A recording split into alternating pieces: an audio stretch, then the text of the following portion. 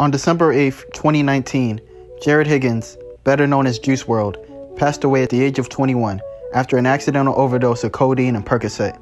His death was a big loss to the music industry and to his fans. In my first video, I detailed why you shouldn't drink lean, a drink that has codeine in it.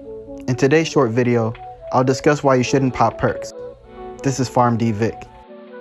Percs is a nickname for Percocet tablets, a brand name drug containing oxycodone, an opioid painkiller, and acetaminophen paracetamol, a painkiller and antipyretic known better around the world by the brand name of Tylenol. Percocet comes in various strengths, with each strength having 325 milligrams of acetaminophen in each tablet. These strengths differ with the amount of oxycodone they have in each tablet, with the amounts being 2.5 milligrams, 5 milligrams, 7.5 milligrams, and 10 milligrams of oxycodone per Percocet tablet. So, despite what you see on social media, there is no such thing as a Perc 30. There are oxycodone 30 milligram immediate release tablets and oxycontin 30 milligram extended release tablets, but I'll discuss this in a different video. As stated in my video on why you shouldn't drink lean, opioids cause euphoria by stimulating reward centers in the brain, causing the release of endorphins.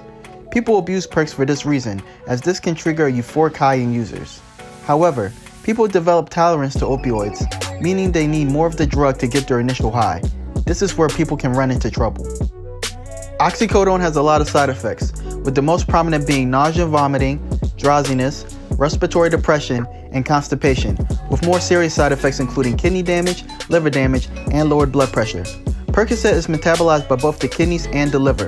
Just like codeine, oxycodone is metabolized by liver enzyme CYP2D6. In this case, oxycodone is metabolized into oxymorphone, which is a potent opioid that is more potent than morphine. Oxycodone is also metabolized by liver enzyme CYP3A4, which metabolizes it into noroxycodone, an opioid with little therapeutic effect. Both noroxycodone and oxymorphone are then metabolized into noroxymorphone, which has minimal therapeutic effect as well, which is then eliminated by the kidneys. So like I said about codeine in my first video, oxycodone can cause both liver and kidney damage since it is metabolized by both organs. Acetaminophen, or paracetamol as it is known outside of North America, is also metabolized by the liver. It undergoes various pathways of metabolism through the liver. One of the pathways sees acetaminophen metabolized by liver enzyme CYP2E1, creating a toxic metabolite called NAPQI, which is excreted by the kidneys.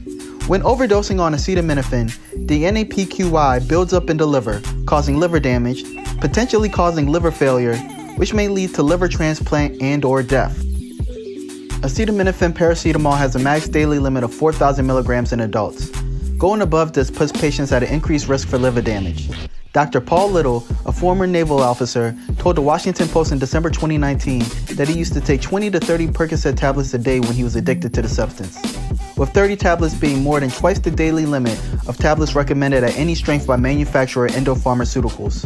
With each Percocet tablet having 325 milligrams of acetaminophen paracetamol, 30 tablets would have 9,750 milligrams of acetaminophen paracetamol, more than twice the daily limit of that drug. With both drugs and Percocet causing liver damage, you can see how overdosing on Percocet is like putting your liver in a fight with Prime Mike Tyson. It's not good for you at all. This doesn't even include the kidney damage that can be caused by both drugs as well. So, it's easy to see how the average person can overdose on Percocet. In the case of Juice WRLD's unfortunate death, he was found to have toxic levels of both oxycodone and codeine in his system. Oxycodone and codeine can both cause nausea, vomiting, drowsiness, slow and shallow breathing from respiratory depression, and sometimes seizures in addition to kidney and liver failure. Juice WRLD had a seizure after landing at Midway Airport in Chicagoland. Not only can oxycodone and codeine cause seizures in events of overdose, but promethazine, the drug often co-formulated with codeine in solution, lowers the seizure threshold, making it easier for seizures to occur. This means that Juice WRLD had three drugs in his system that could increase the risk of having seizures. After overdosing, Juice WRLD was given Narcan, the brand name for naloxone.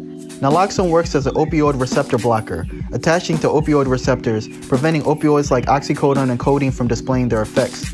Narcan is sprayed into the nostrils of patients who are believed to have an opioid overdose, which was the case with Juice WRLD. Narcan is considered an antidote for opioid overdoses. Initially, the Narcan reportedly brought Juice WRLD back to consciousness before he was rushed to the hospital. However, Juice WRLD would unfortunately pass away and was pronounced deceased at the hospital. With the drugs he took having the ability to affect his breathing, as oxycodone, codeine, and promethazine all have the ability to cause respiratory depression, affect his consciousness, as oxycodone, codeine, and promethazine all also have the ability to put patients in a deep sleep, along with the potential side effects on brain activity from a seizure, and potential poor perfusion of blood through the body due to the potential of low blood pressure from oxycodone overdose. Juice WRLD was the unfortunate victim of a cascade of events that proved deadly. Jared Higgins was only 21 years old. He was a young man loved by his family and legions of adoring fans. His honesty is what attracted legions of young fans to him, as he was open about his depression and was open about using drugs to cope. Opioid overdose deaths are becoming more and more common in the United States every year, even as legal opioid prescriptions have been trending downwards. It's sad that this has happened to a young man with such phenomenal talent, a young man who had the potential to be a household name for decades to come. Let's all work together to beat the opioid epidemic in this country and to help our fellow man. Blessings to the family and friends of Jared Higgins, better known to the world as Juice WRLD. This has been a Viceroy Flair production, and this is PharmD Vic.